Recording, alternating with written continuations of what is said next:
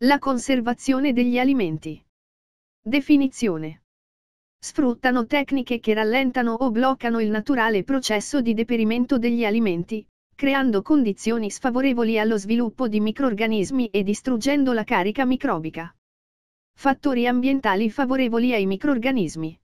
Per potersi moltiplicare in un alimento, i microrganismi devono trovare fattori ambientali favorevoli, quali una certa temperatura, generalmente le alte temperature li distruggono e le basse bloccano la loro riproduzione.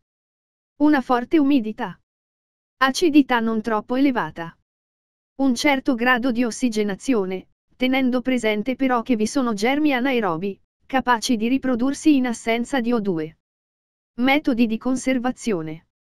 Metodi fisici. Utilizzano caratteristiche fisiche per impedire l'alterazione del cibo, caldo, freddo, radiazioni eccetera. Modificazioni chimiche. Sono alla base dei metodi chimici, aggiunta di zucchero, alcol, eccetera. Metodi fisici di conservazione. Con le basse temperature.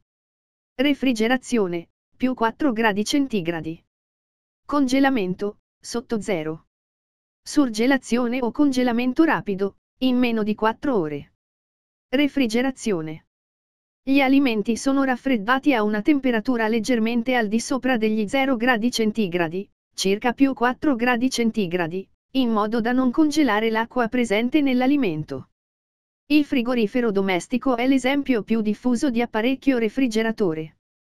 La temperatura di più 4 gradi centigradi del frigorifero comporta un rallentamento dei processi di alterazione, per cui la conservazione è limitata nel tempo.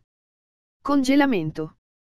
La temperatura dell'alimento viene portata, in diverse ore, al di sotto di 0 gradi centigradi. L'acqua contenuta nelle cellule congela e si formano cristalli di ghiaccio voluminosi, che rompono le pareti cellulari, alterando i tessuti. Durante la fase di scongelamento l'acqua che sgocciola porta via con sé una parte delle sostanze nutritive. La qualità dell'alimento peggiora e diminuisce il suo valore nutritivo, soprattutto se il congelamento e lo scongelamento vengono ripetuti. Il congelamento permette di conservare gli alimenti molto più a lungo rispetto alla refrigerazione, esempio carne o pesce. Surgelazione. L'alimento è posto in un ambiente molto freddo, meno 30 gradi centigradi, meno 50 gradi centigradi, affinché il congelamento completo si realizzi in tempi brevi. Si formano cristalli di ghiaccio con struttura fine e regolare, che non danneggiano le cellule, l'alterazione dell'alimento e le perdite di sostanze nutritive sono minime. I surgelati vanno conservati a una temperatura di meno 18 gradi centigradi, deve essere rispettata non solo nel periodo di conservazione, ma anche durante il trasporto, catena del freddo. I congelatori a uso familiare, se contrassegnati da una sola stella, meno 6 gradi centigradi, possono conservare i surgelati per una settimana, quelli con due stelle, meno 12 gradi centigradi, per un mese, con 3 stelle, meno 18 gradi centigradi, per 3 mesi. Occorre evitare oscillazioni di temperatura eccessive e lo scongelamento durante la conservazione. Se scongelati, i surgelati devono essere subito consumati. Non è consigliabile ricongelarli dopo lo scongelamento, perché si sono realizzate condizioni favorevoli allo sviluppo microbico. Alimenti congelati o surgelati vanno confezionati in involucri impermeabili all'acqua e ai gas, per evitare la disidratazione, l'ossidazione, la contaminazione e la perdita degli aromi. Alte temperature. Il calore inibisce gli enzimi e distrugge i microrganismi, tuttavia, può causare la degradazione di sostanze nutritive contenute nell'alimento, proteine e vitamine. Pastorizzazione. Bollitura. Sterilizzazione. Pastorizzazione.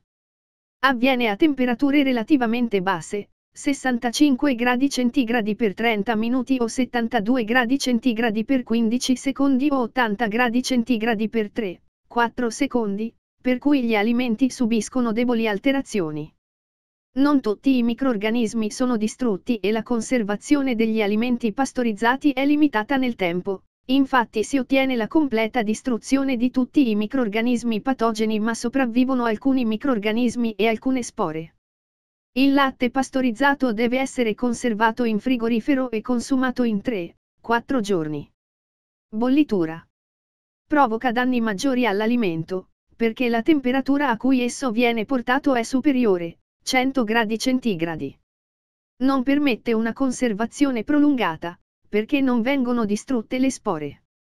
Tuttavia con la bollitura è possibile eliminare tutti i microbi patogeni. Il latte appena munto, non pastorizzato, va bollito, perché potrebbe contenere germi patogeni.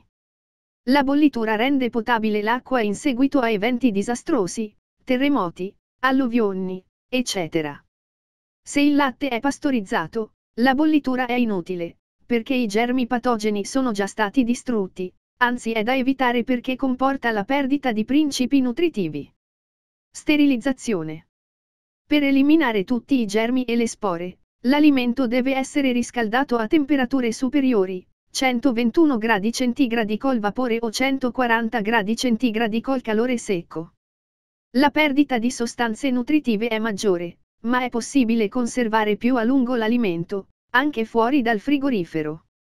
L'alimento sterilizzato va conservato in una confezione chiusa ermeticamente, per evitare l'ingresso dei microrganismi esterni.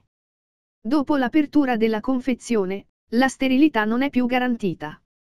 La sterilizzazione del latte, ottenuta con metodo UHT. Ultra High Temperature, consente una lunga conservazione, fino a tre mesi, anche fuori dal frigorifero, se la confezione viene aperta, il latte non sarà più sterile e andrà conservato in frigorifero e consumato entro 2-3 giorni. Radiazioni. Mediante i raggi gamma è possibile sterilizzare un alimento già confezionato, poiché le radiazioni attraversano la confezione e agiscono all'interno dell'alimento.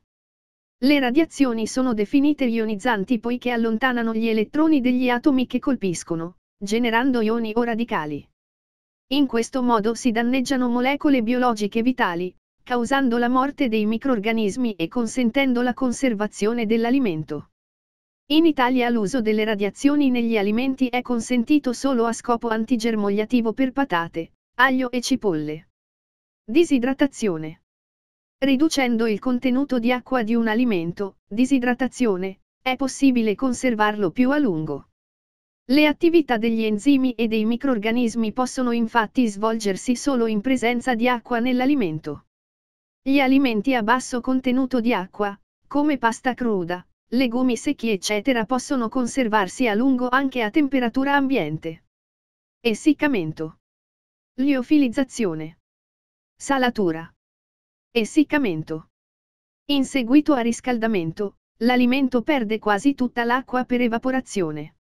Si sfrutta la semplice esposizione al sole e all'aria, o tecnologie più complesse, come ad esempio quelle per ottenere il latte in polvere. Liofilizzazione. Il contenuto d'acqua è ridotto al 2-5% e il prodotto si presenta sotto forma di polvere. L'alimento è prima congelato sotto vuoto, per solidificare l'acqua che contiene, in seguito è riscaldato con delle piastre che portano direttamente l'acqua dallo stato solido, ghiaccio allo stato di vapore, sublimazione. Con la sublimazione è possibile sottrarre più acqua dall'alimento rispetto alla semplice evaporazione. La salatura. Il sale è una sostanza igroscopica, ossia tende ad assorbire l'acqua. La salatura in superficie è spesso associata all'essiccamento per conseguire una migliore disidratazione. Il sale presenta inoltre un'azione antisettica. Metodi chimici di conservazione. L'aggiunta di alcune sostanze chimiche blocca lo sviluppo dei microrganismi, impedendo o rallentando l'alterazione degli alimenti. Esempi, sale, zucchero, olio, aceto. Conservanti, eccetera. Salatura e affumicatura. La salatura è un metodo di conservazione antichissimo basato sull'azione disidratante del sale. Anche l'aggiunta di spezie, esempio il pepe, esercita un'azione conservante. Nella affumicatura le sostanze liberate dai fumi della combustione, in particolare l'aldeide formica, sono responsabili dell'azione conservante. L'affumicatura può essere 1. A freddo, corrente di fumo a 30, 35 gradi centigradi per alcuni giorni o settimane. 2. A caldo, l'alimento è posizionato vicino alla sorgente del fumo, a circa 100 gradi centigradi, e in parte viene cotto. Salamoia e aceto. La salamoia è una soluzione di acqua e sale, che blocca lo sviluppo di alcuni microrganismi e ne favorisce altri, che conferiscono all'alimento determinate caratteristiche organolettiche. Gli alimenti conservati in salamoia devono essere risciacquati, per evitare eccessive assunzioni di sale. L'aceto aumenta l'acidità degli alimenti.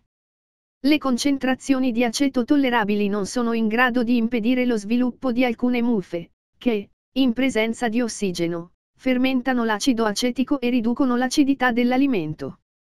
In questo modo si possono sviluppare sostanze tossiche. Durante il confezionamento va evitato il contatto con l'aria e l'alimento va sottoposto a un lieve trattamento col calore, per distruggere i microbi presenti. Zucchero e olio. In concentrazioni elevate, maggiori del 50%, lo zucchero blocca la proliferazione dei microrganismi. È impiegato nella conservazione della frutta. Marmellate, canditi, gelatine, o del latte, latte condensato. L'olio non ha azione sui microrganismi presenti nell'alimento, lo isola dall'aria e previene la contaminazione da parte di germi provenienti dall'ambiente esterno. Nella preparazione è consigliato un pretrattamento termico e una profonda pulizia di alimento e contenitore. Additivi chimici. Sostanze prive di potere nutritivo e impiegate a scopo non nutritivo, che si aggiungono in qualunque fase della lavorazione alla superficie o alla massa degli alimenti, per conservare nel tempo le caratteristiche chimiche, fisiche o chimico-fisiche, per evitarne l'alterazione spontanea o per impartire a essi particolari caratteristiche organolettiche, sapore, odore, aspetto e consistenza. DM 31 marzo 1965. Esempi di additivi chimici. Antimicrobici, acido benzoico, sorbico e loro derivati, i nitriti e nitrati, che vengono generalmente aggiunti agli insaccati per impedire lo sviluppo del Clostridium botulinum. Il loro uso è aumentato soprattutto perché presentano la proprietà di mantenere il colore rosso delle carni, in particolari condizioni, possono dare origine a nitrosammine, sostanze cancerogene. Anidride solforosa, viene aggiunta al vino per il suo effetto antimicrobico. Esercita anche una funzione antimbrunimento e permette il mantenimento del colore dei vini bianchi. Anche i solfiti presentano un'azione anti-imbrunimento di cui spesso si avvalgono alcuni commercianti di carne per conferire un colore vivo e un aspetto fresco. Antiossidanti, evitano l'irrancidimento dei grassi. Alcuni sono naturalmente presenti negli alimenti, lecitine, eccetera, altri sono invece prodotti di sintesi. L'irrancidimento provoca alterazione delle caratteristiche organolettiche dell'alimento, olio o grasso, e perdita del valore nutritivo. Atmosfera protetta. Per conservare più a lungo gli alimenti è possibile sottrarli all'azione dell'ossigeno. Si utilizza una miscela di gas di composizione diversa rispetto a quella atmosferica, ad esempio, azoto 92, 95%, ossigeno 3, 4% e anidride carbonica 2, 4%. L'azoto è un gas inerte che non consente la proliferazione batterica e svolge un'azione di preservazione nei confronti degli irrancidimenti. È utilizzata nelle celle frigorifere. Atmosfera modificata. La composizione dei gas immessi cambia a contatto con l'alimento per le interazioni reciproche e non c'è modo per mantenerla costante come nel caso dell'atmosfera protetta. La composizione atmosferica più adatta è scelta in base al tipo di alimento. L'atmosfera modificata è un metodo di conservazione adatto agli alimenti refrigerati ed è da evitare nel caso di alimenti da pastorizzare o da cuocere sottovuoto. Confezionamento sottovuoto. Si pone l'alimento in un involucro di materiale plastico e si aspira l'aria. Vengono impiegate macchine confezionatrici sottovuoto, utilizzabili anche in ristoranti e nel catering. Gli alimenti possono essere confezionati crudi o cotti sottovuoto. Ripassa la mappa del capitolo.